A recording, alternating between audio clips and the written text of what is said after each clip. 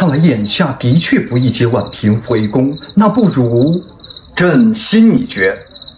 即使汉军旗下五旗出身，朕就给他抬起，升为满军旗上三旗，赐大姓，钮祜禄氏。此事皇上可要三思啊！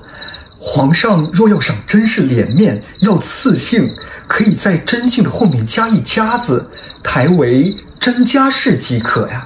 赐姓之后，便不再是罪臣甄远道之女了。既无皇子，后宫里有的是没有额娘的阿哥。皇上是指四阿哥，可是四阿哥出身微贱。正因为出身微贱，所以才需要一个有身份的额娘。从今往后，四阿哥的生母便不再是宫女李金贵了，而是朕的妃子钮祜禄甄嬛。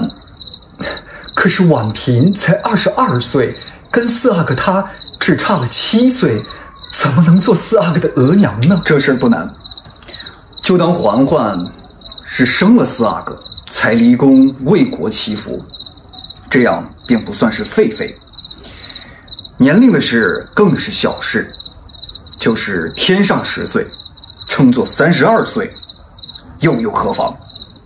皇上执意如此，那臣妾也无法了。只是怕堵不住那悠悠之口，人言何所畏惧？